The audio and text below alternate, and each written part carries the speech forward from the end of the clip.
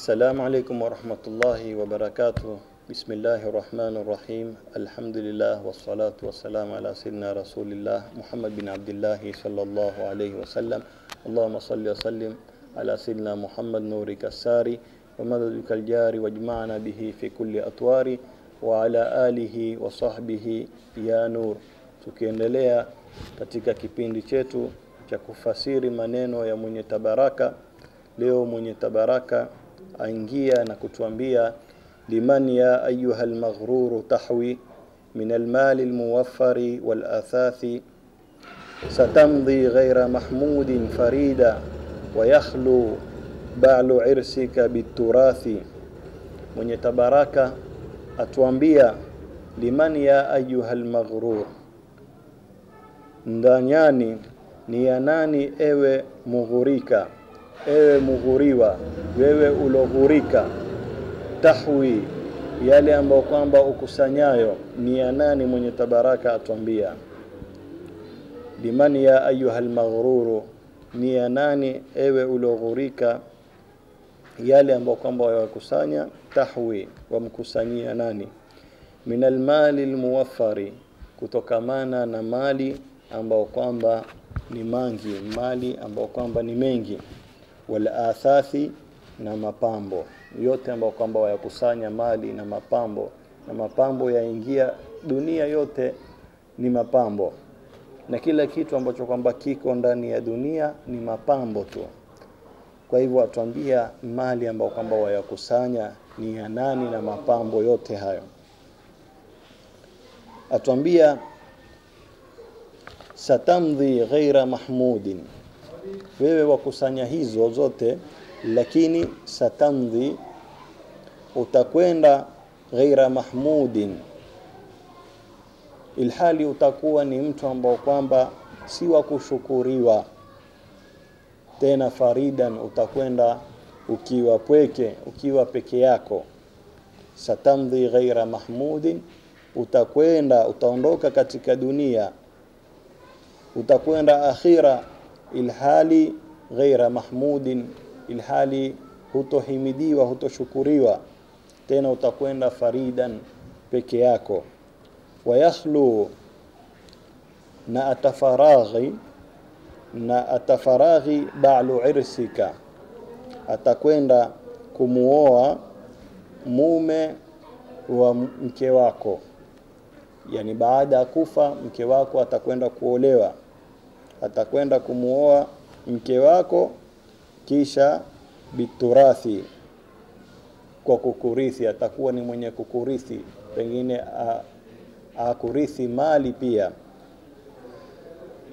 Atuambia mwenye tabaraka maneno mazito kama haya. Kisha atuambia mwenye tabaraka kadhalika jambo lingine wayakhdhuluka alwasiyu ule wasii ulomuhusia katika mambo ama katika jambo atakwenda atakupuza kwa yale ambayo kwamba umemweleza kwa yale ambayo kwamba umemuhusia. Wala wafau wala hata, hatakuwa ni mwenye kutekeleza yale ambayo kwamba umemuhusia. Baada ya kuondoka wewe ule wasii wako na zaidi ni kijana chako hatokuwa ni mwenye kukutekelezea ule wasia wako ama yale mambo yako ambayo kwamba umemuhusia akuatie ni tofauti kufanya wewe mwenyewe na kufanyiwa. Isipokuwa kijana kama ule uwe umemlea katika malezi ya dini katika tabia za bwana mtume Muhammad sallallahu alaihi wasallam umemlea kutambua adabu yako kama mzazi ndo ataweza kutekeleza yale ambayo kwamba utakao kumuhusia lakini bila hivyo utaondoka na ule wasii wako hatokuwa ni mwenye kutekeleza yale ambayo kwamba umemwatia na umemuhusia. Wala islahu amrin wala hatakuwa ni mwenye kutengeza jambo lolote. Wala hatakuwa ni mwenye kutekeleza na kutengeza na kurakibisha jambo lolote. Dhimbithathi jambo ambalo kwamba ni la manufaa jambo ambalo kwamba ni la faida. Ambalo kwamba litakufaa wewe kesho ya kiama hatakuwa ni mwenye kufanya wala kutengeza ikiwa mtoto kama ule hukumwandaa katika makuzi mema. Hapa tukumbusha kwa kuwa tusitarajie zaidi kufanyiwa bali zaidi tufanye sisi wakati hunu ambao kwamba sisi tuko katika dunia kama hii tufanye sisi. Tusitarajie baadaye kwa kuwa tutatendewa zema na ima watoto wetu ama rafiki zetu ama yoyote. Kwenye tabaraka tukumbusha ili sisi madamu twaishi katika dakika hizi na masaa haya ambao kwamba tuko juu ya mgongo wa ardhi basi tuwe na pupa katika kufanya mambo ya kheri na kufanya taa ya Mola Subhanahu wa Ta'ala na ibada. Lakini tukiondoka ile pasenti kubwa ya kufanyiwa hakuna. Ile dhamana kubwa kwa kuwa tutafanyiwa ama khairati tutaendelezewa hakuna. Ni wachache na wachache ambao kwamba waendelezea wazee wao ama rafiki zao ama familia yao mambo ya kheri baada ya kuondoka ule mtu kisha atuambia laqad uqirta. Atuambia hakika umeitweka hakika umejibebesha wizran dhambi. Hakika wewe katika maisha yako wajibebesha ama umejibebesha dhambi. Murjahinna tena dhambi ambazo kwamba ni zizito dhambi ambazo kwamba ni zingi katika maisha yako jinsi ambao kwamba wakaa. Mwenye tabaraka akukumbusha kwa kuwa hakika wajibebesha madhambi makubwa. Na dhambi ni dhambi na dhambi kadhalika ni mambo ambayo kwamba yasokuwa na maana. Tena atuambia ni dhambi ambazo kwamba murjahina, zizito sana. Dhambi ambazo kwamba yasuddu alaika dhambi ambazo kwamba za kukingiwiza za kukinga za kupinga subula limbithathi kupata ndia za kheri ndia za peponi kufanya mambo ya kheri mambo ya maana. Kwa sababu unapofanya mambo ambayo kwamba hayamridhishi Mola Subhanahu wa Ta'ala wapata madhambi. Na madhambi ni kitu ambacho kwamba kwanza chamghadhibisha Mola Subhanahu wa Ta'ala na madhambi yamfurahisha shetani na madhambi yatiakiza nyoyo zetu na nyuso zetu. Na ukishakuwa ni mja wa madhambi na maasia basi haya madhambi atuambia mwenye tabaraka huwa yashakuwa ni kitu ambacho kwamba cha kukupinga wewe na kupata khairati na kupata neema za Mola Subhanahu wa Ta'ala kwa yale madhambi ambayo kwamba umeyafanya. Hakuna kwa mwanadamu kupatikana vitu viwili wakati mmoja. Ukiwa na maasia basi yale maasia yatakutia kwenye giza yatakutia kwenye dhiki yatakutia kwenye balaa yatakutia kwenye mitihani. Na ukiwa ni mja wa kufanya taa za Mwenyezi Mungu Subhanahu wa Ta'ala na ibada basi zile taa na ibada zitakutia kwenye maisha ya raha na furaha hata uwe na mitihani ya ulimwengu mzima. Lakini madamu waishi kwa taa na ibada utaona uko, raha, uko kwenye rahani na ilhali una mitihani yote una maradhi una madeni una kadhaa una kadhaa. Lakini madamu waishi kwa namna ambayo kwamba Mola Subhanahu wa Ta'ala aitaka basi hutoona zile shida zote yale mitihani ya maradhi na kukosa mali pengine na kadhaa na kadhaa hutoona kwa sababu ya ile ibada ambayo kwamba umeshikilia Mwenyezi Mungu atakupa sakina atakupa na utulivu katika moyo wako. Lakini ukiishi kinyume cha namna hii ndio utaishi kwa dhiki na balaa na kukosa kheri na kukosa baraka katika maisha kisha atuambia mwenye tabaraka katika ubeti wake wa mwisho fama laka ghaira taqwallahi. Atuambia mwenye tabaraka basi huu na wewe isipokuwa ni kucha Mungu huna kitu ambacho kwamba kitakufaa mwenye tabaraka atuambia isipokuwa ni kucha Mungu na hili Mola Subhanahu wa Ta'ala ametangulia katika Qur'ani kutueleza katika aya tofauti. Jambo la takwa ni, ta, ni jambo ambalo kwamba Mwenyezi Mungu Subhanahu wa Ta'ala amehusia umma wa mwanzo na umma wa mwisho. Na takwa ni kitu gani?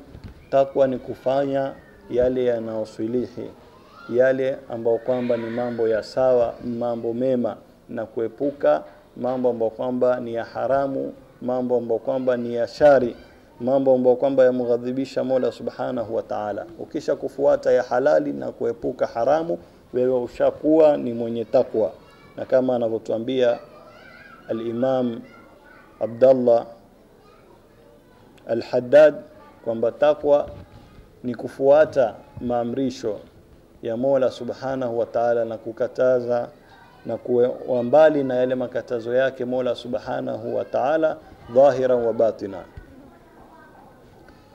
Takwa ni kufuata maamrisho ya Mola Subhanahu wa Ta'ala na kuwa mbali na yale makatazo yake Mola Subhanahu wa Ta'ala dhahiran wa batina, kwa nje na kwa ndani, kwa hali yoyote wewe uwe na takwa, ukiwa barabarani, ukiwa kazini, ukiwa nyumbani, ukiwa sehemu yoyote, uwe na takwa, uwe na uchaji Mungu katika kila haraka yako unayoifanya, uwe mchaji Mungu, umweke Mola Subhanahu wa Ta'ala mbele. Kwa hivyo atuambia mwenye tabaraka katika ubeti wake wa mwisho, famalaka ghaira taqwallahi, huna isipokuwa ni kucha Mungu, huna isipokuwa ni kucha Mungu. Famalaka ghaira taqwallahi hirzun, huna hifdhi yoyote isipokuwa ni kucha Mwenyezi Mungu Subhanahu wa Ta'ala. Ukisha kumcha Mwenyezi Mungu Subhanahu wa Ta'ala, yeye Mola Subhanahu wa Ta'ala ndio atakuhifadhi. Kama baadhi ya masahaba waliweza kumkabili mpaka simba walipokuwa katika ndia, wakapambana na simba, akafunga ndia, wakawa hawezi kupita. Mmoja katika sahaba akakabili ule simba na akazungumza naye, akamwambia maneno na wakaweza kupita, akaondoka ndiani wakaweza kupita sehemu kama kama ile. Akaulizwa, umeweza vipi kufanya jambo kama hili? Akamwambia kwamba khifna Allaha fakhafa minna kullu shay, akamwambia kwamba sisi tumemcha Mola Subhanahu wa Ta'ala na vitu vyote vikatucha sisi. Ukimcha Mola Subhanahu wa Ta'ala, basi kila kitu kitakwenda kukucha wewe na kukusikiza wewe na kukufuata wewe. Kisha atwambia wala wazarun, na hakuna mwenye kutegemewa. Wala wazarun, hakuna mwenye kutegemewa kwa jambo lolote. Wamalaka, na huna pia min ghiyathi, huna mwenye kukuokoa na jambo lolote, wala kumtegemea kwa chochote isipokuwa ni yeye Mola Subhanahu wa Ta'ala. Mwenye tabaraka atuambia maneno haya ili tuwe ni wenye kumkimbilia Mola Subhanahu wa Ta'ala, na katika fikra zetu, katika maisha yetu, katika kila jambo letu tumweke Mola Subhanahu wa Ta'ala mbele, ndio tutaweza kufaulu. Haya ndiyo maneno ya mwenye tabaraka kwa siku kama ya leo, ambao kwamba tumeyasoma. Mwanzo alianza na kutuuliza kwa kuwa tunazozikusanya tumkusanyia nani, twaziweka kwa ajili ya nani? Hilo ni jambo ambalo kwamba lafaa tulifikirie kila dakika na tulizingatie. Kisha akatuambia kwamba tutakwenda baada ya kufa kwetu tuwe hatutohimidiwa, hatutoshukuriwa kwa wale ambao kwamba pengine tumewakusanyia hizi zitu, na tutakwenda tukiwa ni wapweke na atakwenda mtu pengine aolewe ule mke wake na arithiwe na mume wa mke wake yale ambayo kwamba ameyawacha. Kisha akatuambia pia kwamba ule wasii tutakaye kumuacha ikiwa ni mtoto ama ni yoyote, atakwenda kutupuza baada ya kufa kwetu sisi, hatotekeleza yale ambayo kwamba umemuhusia katika mambo ya kheri, wala hatakuwa ni mwenye kutengeza katika yale ambayo kwamba ni mambo yenye manufaa. Kisha akatwambia kwa kuwa sisi twajitweka twajibebesha mizigo ya madhambi mizigo ya mambo ambayo kwamba hayana maana na haya yatuziwia sisi na kupata khairati.